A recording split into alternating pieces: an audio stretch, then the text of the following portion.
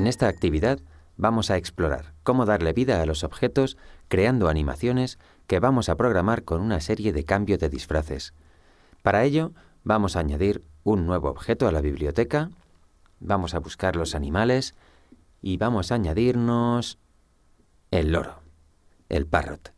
Lo que vamos a hacer con el loro es ir pasando por los diferentes disfraces que incorpora el objeto para dar la sensación de que está volando por la pantalla.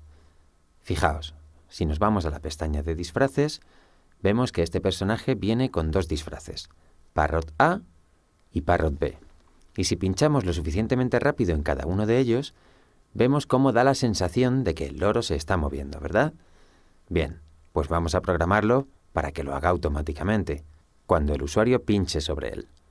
Lo que vamos a hacer es irnos a la pestaña Eventos, a la categoría de Eventos, y decirle que cuando se pulse este objeto, repita 10 veces ¿Y qué vamos a hacer? Bueno, pues que avance 10 pasos y además que pase al siguiente disfraz. Si tenía el A, va a pasar al B y cuando tenga el B, va a pasar al A.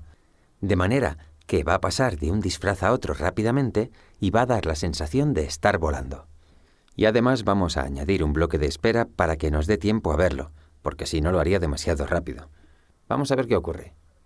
Cuando pinchamos en el loro, repite 10 veces, mover 10 pasos, siguiente disfraz y una pequeña espera para que no sea tan rápido. Fijaos. Da la sensación perfectamente de que efectivamente el loro está volando.